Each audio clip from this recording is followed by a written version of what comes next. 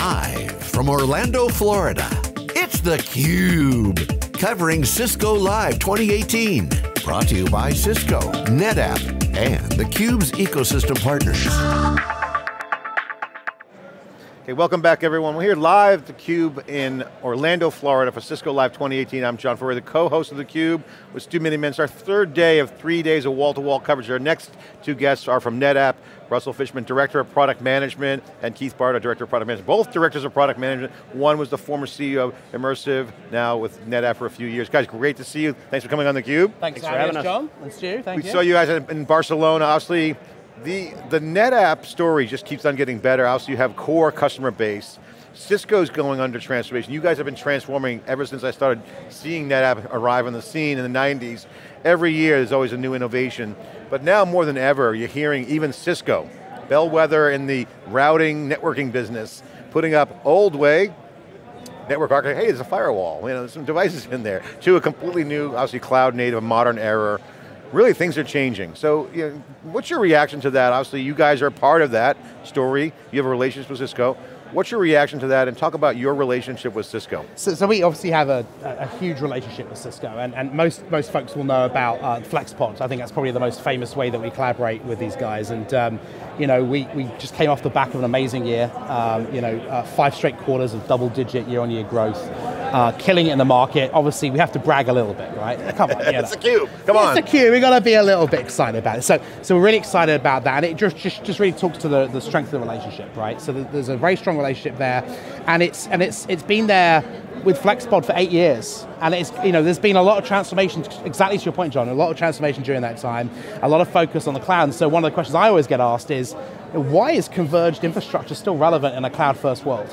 And, it, and it's not an obvious answer. Now, clearly our customers think, think, think that it is, and, and so, does, so do our partners, right? But it's not obvious why that is. I mean, so NetApp has gone through, you talked about transformation, NetApp's gone through this massive transformation, um, huge focus on cloud. I mean, we have these, uh, you know, cloud first, cloud native, focused around our data management platforms. We talk about a, a, concept called the data fabric. I don't know if you've heard of the data fabric yep. before. And, and, and the data fabric really uh, talks to how our, our, our, our, vision for how enterprises want to manage that, that new digital currency that is data across all the silos that they want to leverage, right? And so, yeah, it's, it's, it's, we've been able to bring some of that goodness into FlexPod, and that's why we're still relevant now. So, yeah. Yeah, so Keith, I, I, think back to when converged infrastructure was built, it was about simplification. We were going to take all these boxes and put it down to you know, a box, and that was the new unit of measurement. Well, you know, Russell was just talking about we've got multi-cloud. When I think of NetApp now, it's always been a software company, but now it's software in that multi-cloud world. Help connect the dots for us as to you know management of converged infrastructure into that whole multi-cloud story. Yeah, we were uh, very privileged to be acquired by NetApp uh, last March, and uh, my company Immersive, uh, a lot of us came actually out of Cisco.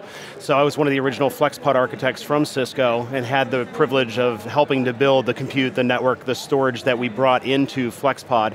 And uh, a lot of our customers and our resellers kept on saying, how do we know we put it together properly? How are we following the best practices from the CVDs, from the NVAs, from the TRs? And so we took those rules and those analytics and we put them into a platform, into a SaaS-based platform, and we were able to analyze that coming from our customers' FlexPods, from within their deployments, from within their you know, multi data centers and, and bring that into our service, run those analytics, prove those best practices, show the deficiencies, get our resellers out there to help our customers, because you know, FlexPod is a meet in the channel play, and we've, we've relied heavily on our resellers to make it a success. What was the driver for that product? When you started that company, I mean, that happened, what was the main motivation behind that? Was it analytics? Was it insight? What were some of the things that you guys were building in? Was it operational data? The, the, the, real reason was people kept on asking, how do I know, because it's a reference architecture, not a product, how, I, how do I know I did it right? Because it's really important, we're going to run our key business applications on this platform, right? My SAP, my Oracle, my you know, uh, SQL, my SharePoint, you know, my, my Outlook, right? I, I got to make sure this stuff is really going to work properly and it's going to grow and scale with the business. So I need to make sure that those redundant links are there. I need to make sure when I do a VMware upgrade or a Microsoft upgrade that the firmware is in alignment with the best practices in the interoperability matrix. So we wanted to make that as easy as possible so that from a single dashboard you can see all of those things, you can diagnose it quickly, you can get those email alerts and notifications.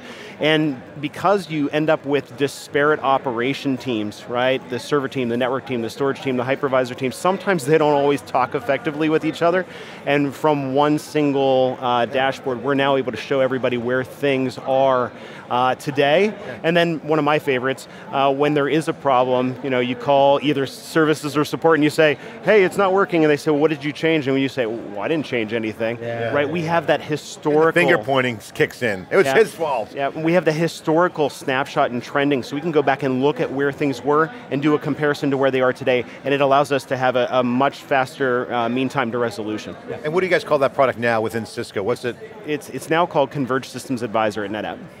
Yeah. Awesome. So what's next for Convergence? Obviously, people with cloud growth, yeah. we're seeing the on-premise. Wikibon has reported the true private cloud numbers, which basically say there's a lot of on-premise activity going on. It's going to look like cloud. It's going to operate like cloud. So Absolutely. they need to have that. So there's migration going on, but it's not a lift and shift yeah. to cloud. There's going to be there's obviously the hybrid cloud and multi-cloud. So cloud folks still buy hardware too. Sure they do. like, you got to still run stuff. yeah. Networks aren't going away, storage isn't going away. So what's next for the converged infrastructure play with FlexPod? How do you guys um, uh, manage that roadmap? So, so we just we just announced um, some things coming into jointly with Cisco coming into uh, Cisco Live, and and uh, one of those things that we announced was uh, something called uh, Managed Private Cloud on FlexPod. Or actually, no. FlexPod Managed Private Cloud, sorry, I switch it around. So, um, and FlexPod Managed Private Cloud, it really talks to exactly what you're talking about, John, which is that what we find, you know, uh, cloud has, has, has fundamentally changed customers' expectations of what they want on-prem. They recognize the need on-prem. We live in a hybrid world. Those of us that have been in the industry long enough and have a couple of gray hairs know that there are very few transitions that are really absolute in the business, right? A lot of people pronounce that it's going to be this way or that way, and the reality is it's something in between. And that's fine because you know, cloud is just another tool in the toolbox.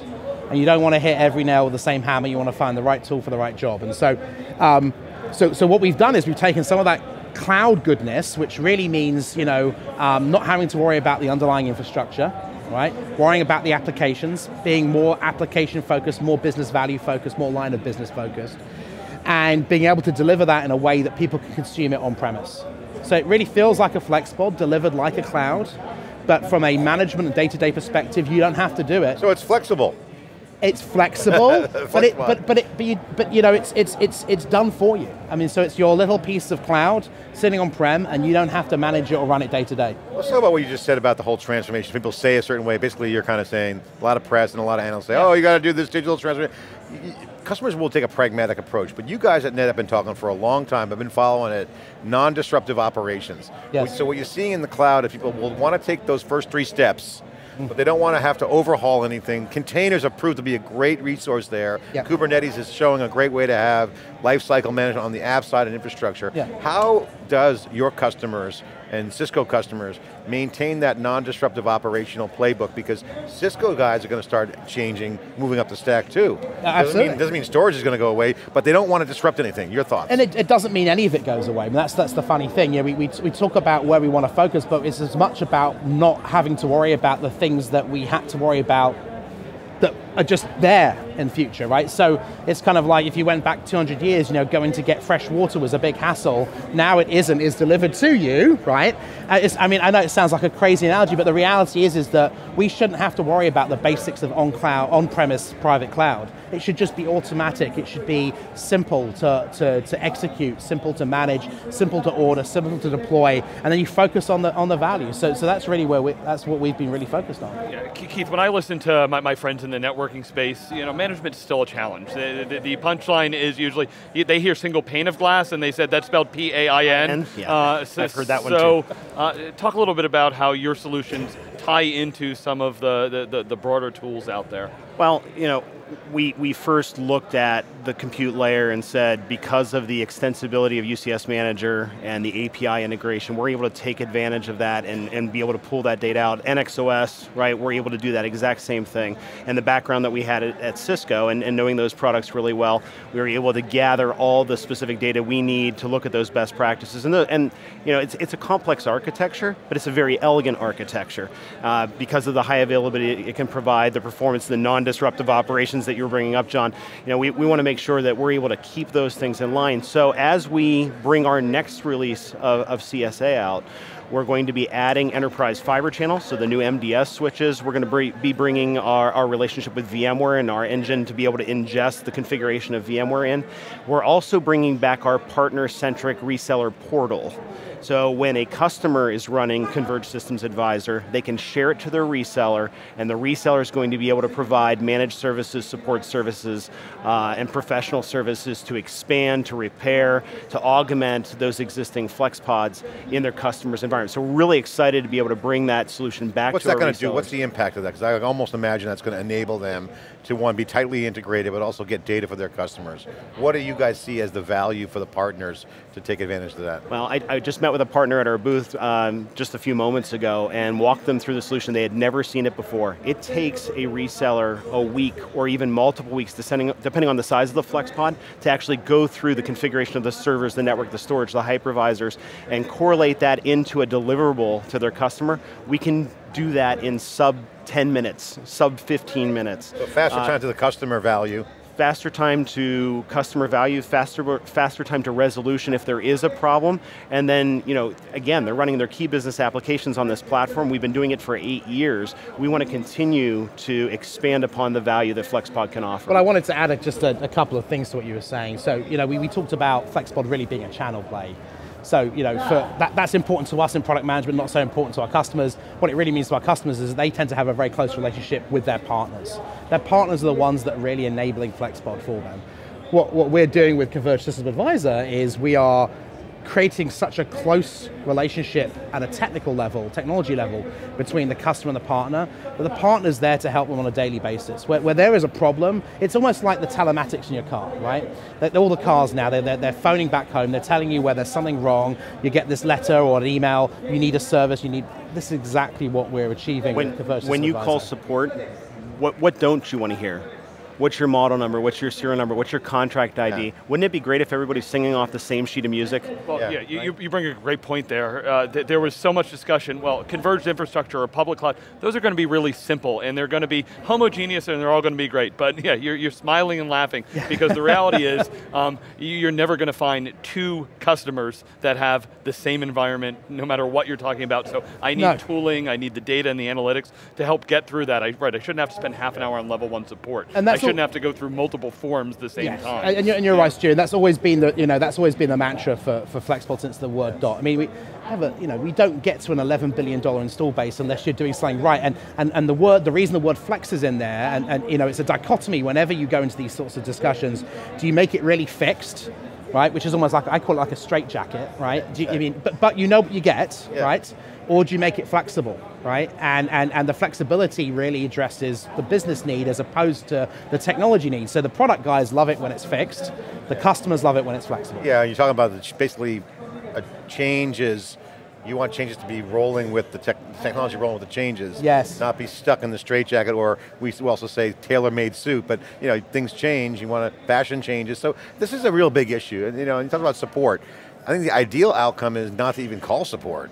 With analytics and push notifications and AI, yep. you can almost see what DevNet's doing here around how developers are getting involved with DevOps and network DevOps. Yep. Coders can come in and use the analytics if tightly integrated in, so that you get the notification or they know exactly your environment. Is that, how far along are you guys on that path? Because you know, analytics play a big role. You got the, the, command center there, or the uh, uh, Converged System Advisor. Yeah. Implies advising, resolution, prescription. Yep. What's, Yes. what's the So- vision? What's the so- vision? So Immersive was a Cisco solution partner at the very beginning. So we were a part of this this group right behind us, and uh, it was exciting to to be a part of that, to attend Cisco Live and be a part of, of DevNet. And uh, we expanded upon, as you mentioned, the, you know, the API integrations of all these platforms. And when Cluster Data ONTAP came out for NetApp, we did the exact same thing, right? So we get integrated with NetApp and uh, very easily able to bring all that data in. Now, that data is the hard part, Yeah. right?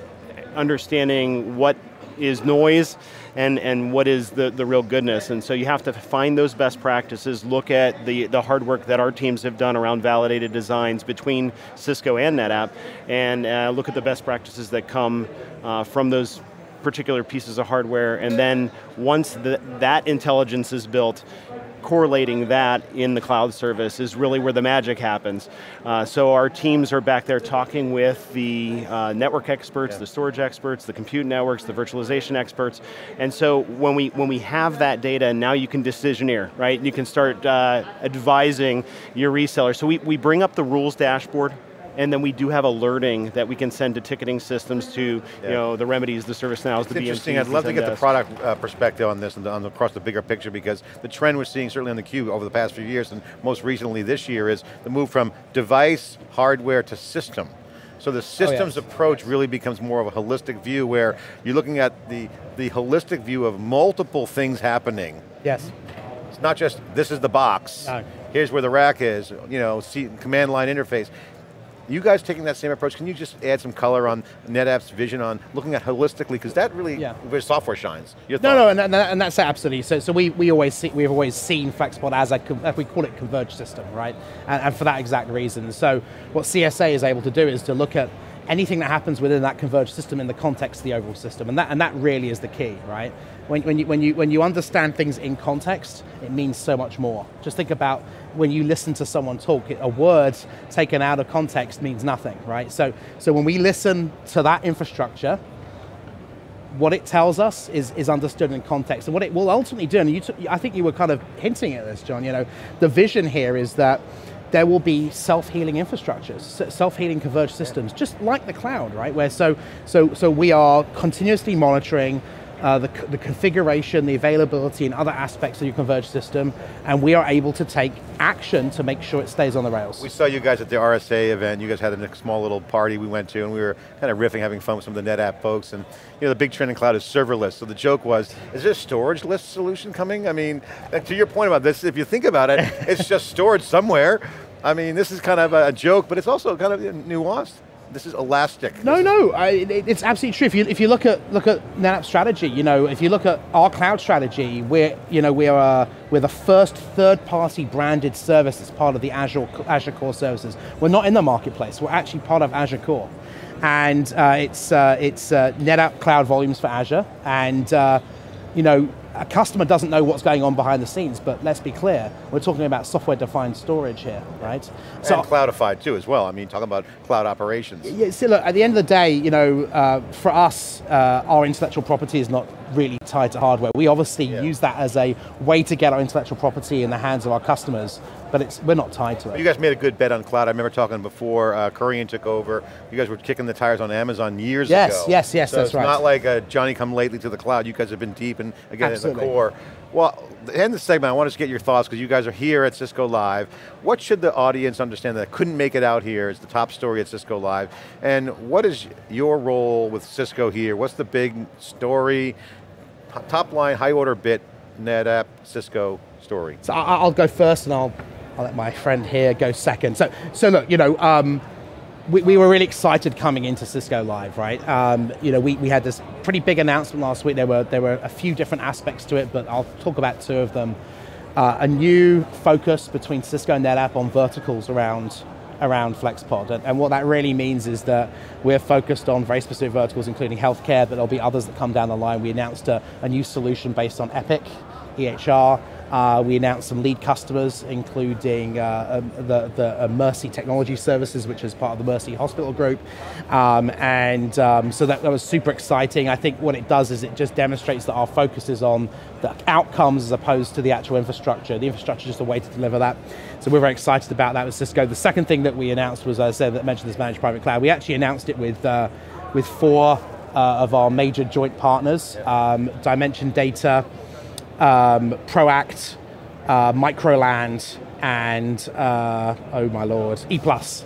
Yes, of course. And um, that was um, that, that's super exciting as well. And, and, you know, it's what it does is it captures the imagination, and it's always very fun when you're sitting at standing at a booth and people say, oh, you know, I've known Flex, I've seen you guys around, but you know, there's always something new to talk about. The relevance is more. Absolutely. Ever. Keith, yeah. what's your, what wave is NetApp riding right now? If you look at the Cisco action going on, what they're going through, what should people know about the big wave that you guys are taking advantage of right now? I think the, the big wave has absolutely got to be what we're doing with the hyperscalers, right? I mean, we, we by far have taken uh, the industry, I think, by storm when you think about what we've done with Microsoft, what we're doing with Google, you know, um, sorry? And Amazon. And Amazon, yes, thank you. and uh, it, yeah, just small, small hyperscalers, right? And uh, it, it's amazing what we can do with Cloud ONTAP, uh, across those vendors. And, the, and when we look at what our customers have done with FlexPod and the relationship with Cisco and NetApp, and our ability to work together to help customers get their data from their core data centers to cloud, back, to their customers, and for us to be able to use analytics the way we do on FlexPod, I, I think there's a, a, real, real opportunity. And riding there. the scale wave too is scale. Scaling is huge. Everyone's talking about large scale. Talking about hyperscalers. That is the largest scale well, you can see. and and our ability to control where the data lives, right? Um, because you, you want to be able to hold control of your data and being able to use familiar tools like what you're already using in your own data center and in your own converged infrastructures, being able to use that ONTAP operating system, be able to control that experience is, is going to be very important. Guys, thanks for coming in for the NetApp update. Great news, great alignment with Cisco. It's a large scale world and certainly the world's changing. Storage is going to be you know, a critical part of it. Server, storage, infrastructure, cloud operations on-premise and in the clouds. theCUBE, bringing you live coverage. I'm John Furrier, Stu Miniman. Stay with us for more day three of three days of coverage here in Orlando, Florida for Cisco Live. We'll be right back.